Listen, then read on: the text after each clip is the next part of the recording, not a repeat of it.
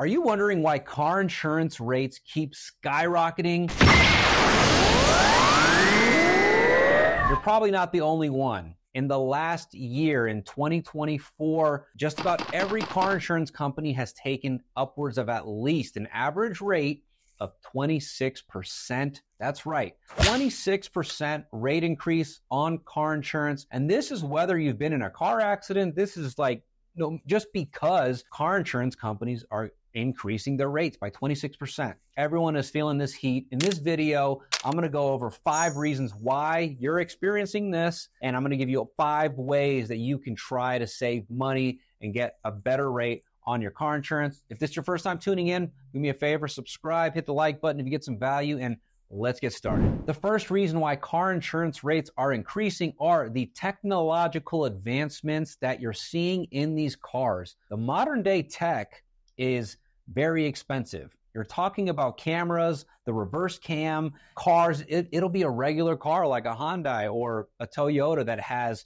cameras and technology all around the car and features that allow it to stop for safety and so on and so forth. These cars and this technology is not cheap. And so every time there's a car accident, the body shops and the uh, the car manufacturers are having to replace some of this technology, and it ain't cheap. And so, because of that, that's the first reason why you're seeing this increase in car rates. The second reason is the growing number of distracted drivers driving these cars. And what you're seeing is, is there's no coincidence that the younger the drivers, the more the smartphones, the more these phones are just fighting for our attention on a daily basis. You have people that are distracted while driving. And that's not the only reason. You got people that are drinking, you got people that are smoking. The legalization of marijuana is contributing to more car accidents and but mainly smartphones. You're seeing a lot more people when they're at a stoplight, they're looking at their phone, they're they're not paying attention to the road. And when you think about it, an, a car accident, it takes one or two seconds where you're not paying attention to the road and somebody's causing a car accident. And so when you mix in the number of distracted drivers with the amount of car accidents that are happening. The insurance companies are having to pay for these car accidents, and that means a raise in all car insurance rates, whether you've been in an accident or not. That's what we're seeing is the increase of the smartphone users and correlated with the amount of car accidents, meaning higher insurance rates. The third reason is the rise in healthcare costs. And so, because we're seeing more car accidents, you're seeing more people going to the hospital, more people dealing with injuries because of these car accidents. And when you mix that in, these hospitals aren't cheap. An ambulance ride to the hospital is upwards of ten to twenty-five thousand dollars. One of my employees was in a car accident. His he had to get reconstructive knee surgery for his knee and these surgeries aren't cheap. So when you mix in uh, how easy it is for someone to get injured when they're involved in a car accident, mixed with the quantity of car accidents that are happening, and then you mix in here in Las Vegas, you're seeing nine out of 10 billboards belongs to an attorney, an injury attorney. A lot of times, what you're seeing is when a car accident is happening, they look over, they see a billboard, whether they were injured or not, they are going to go after the insurance company and a lot of times, I mean, these billboards aren't free. So when you consider that, they're being paid for by the insurance companies because of the accidents, because of the rise in healthcare costs when you're involved in an accident and you're hurt. You mix all these things, all these things together, plus inflation. And that's the third reason why you're seeing a rate increase on your car insurance. The fourth reason is you're seeing a lot more weather related accidents happening. So if you're in Texas, you're seeing hail the size of golf balls. Even here in Las Vegas, we've had some flooding where cars are being submerged on certain sides of the town uh-huh. underwater and just a, a lot of weather related car accidents are causing for these these claims to be paid out which insurance companies are in the business of trying to be profitable and make money so that way they can pay out the claims and you know still a business at the end of the day and so again when more claims are being submitted and paid out than premium is being received that's why the insurance companies are raising their rates it might not be the answer you like to hear but unfortunately it's just what it is. You know, sometimes good old Mother Nature has its say in the events that happen. And uh, that's what we're also seeing with uh, the raise in car insurance rates. And the fifth reason why car insurance rates are going crazy is the increase in vandalism and thefts in cars.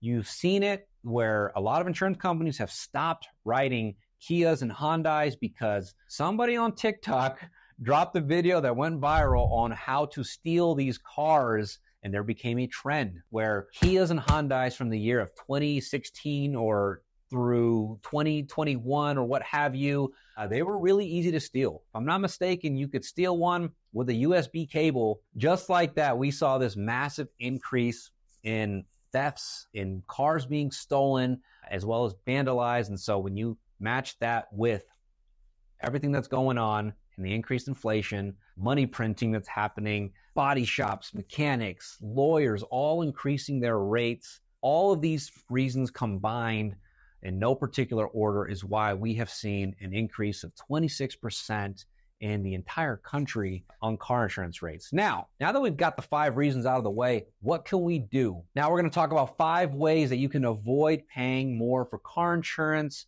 and hopefully save you some money to make it that much more affordable. The number one thing you can do, it's common sense. It is shop around for a better rate. Typically what happens when a car insurance company takes rates. There's not usually much that the insurance company can do to lower your rates unless you're going to lower coverages or unless there might not be an option. You might just need to shop around. The best thing you can do is talk to a local agent. You can talk to your local state farm, your local Allstate office. If you're in Nevada, Oregon, or Washington or Arizona, I'm happy to help. They can provide you a quote. You can talk to an independent broker where they can quote multiple companies and carriers. And you can also get a quote from Progressive or Geico. You can go online. Best thing you can do is to shop. Now, what I don't recommend is that you cut coverages or that you ride around with the state minimums because the last thing you want to do is be involved in an accident where you you will be put in a bad financial position after the afterwards. And so, do your best to keep good coverages. And uh, if you shop around, you'd be surprised with what you may find uh, that's available to you. The second way is to bundle your policies. So if you have if you have an auto insurance policy and a renter's insurance or home insurance, if you bundle them together, a lot of insurance companies provide major discounts for bundling. And so that is one of the most common ways to save money on your insurance policies. And so be sure you're bundling together for more discounts. And number three is to maintain a clean driving record right? So just pay attention to the road. Maybe you're one of those distracted drivers and you just got to keep your eyes on the road. Do whatever you can to avoid car accidents or being at fault in a car accident. Another bonus tip for uh, in saving money on your car insurance is to make sure that your credit is good. The better your credit, there's a thing called an insurance score. Every time you get quoted, they want to see what your insurance score is. And your insurance score is not your credit score. It's essentially how often you're making your payments for your insurance policy and if you are a responsible payer. And so by having good credit and having a good insurance score, that usually means better rates for you uh, and those who are on your insurance policy. The fourth thing you can do is to add one of those apps to your phone or some insurance companies have a little a little machine that you can connect to your car and ultimately by monitoring your driving and if you're not driving over 80 miles per hour consistently, if you are not hard braking like crazy, and if you're not driving after the hours of 10 p.m. and you are a good driver, that can get you a better rate. That can get you rebates on your insurance policy for being a safe driver. Now, I know what you're thinking. A lot of people are like, I don't want them to pay attention to me uh, I don't want them knowing where I'm going and tracking my location. Well, unfortunately, your phones are already doing that. So let's just get over that because your phones already know exactly where you're at. They have more data on you than you already realize. And so just stop that conspiracy theory that an insurance company monitoring your driving is prying on your information. It truly is to get you a better rate. So if you're a safe driver, let's prove it.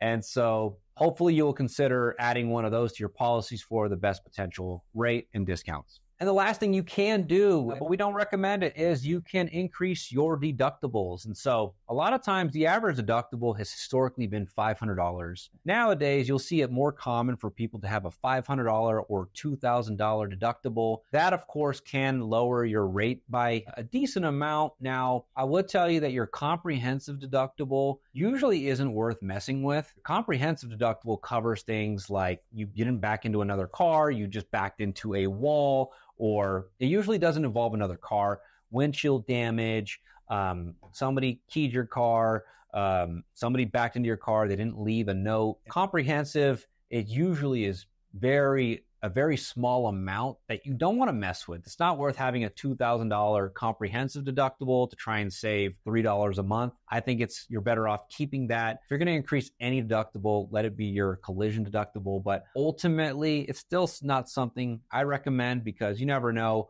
if you're involved in an accident and you need your car fixed, the last thing you want to do is cough up a couple grand to do that. That is the last and final tip. But so that is the state of the insurance industry. Unfortunately, no company is safe. Every company has been affected. Literally, no company has not taken a rate increase. It doesn't matter what state you were in. And some states have it worse than others. And so that's just the state of the insurance industry. I'm hoping that with inflationary pressures and, and getting that under control, that car insurance rates will be a lot more affordable. You know, there's just so much going on between lawyers suing people and the the technology in cars and the cost of body shops and mechanics like all of this cumulatively is increasing the rates of car insurance. I've also given you a few ways that you can potentially save money and uh, and find the right insurance policy for you. So, if you've watched this far, thank you so much for watching. I hope you got some value. Please give me a, a subscribe for all things insurance, entrepreneurship, and self development. Until next time, peace.